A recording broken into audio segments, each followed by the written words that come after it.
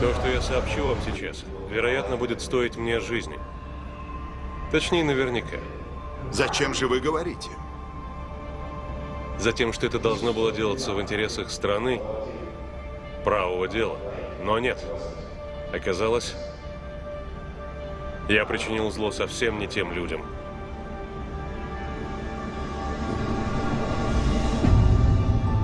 Приказы отдавала Кэролин Рейнольдс, тогдашний вице-президент. Выполняя приказ, я подбросил улики. Я раздобыл труп. Я заманил Линкольна Барроуза на стоянку в тот вечер под предлогом другого заседания. Все было сфабриковано.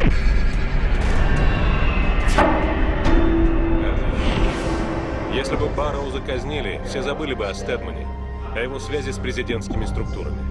Никто никогда не узнал бы о компании.